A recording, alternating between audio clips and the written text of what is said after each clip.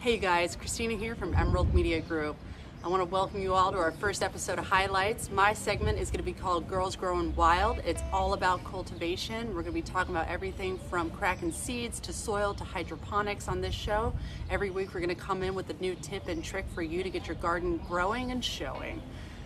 Emerald Media Group is a cannabis news outlet. We have daily digital content, we do podcasts, we do videos, uh, we do newsletters, we do a print magazine, and I want to leave you all today with a DIY cocktail video to kind of change up your quarantine cocktail hour.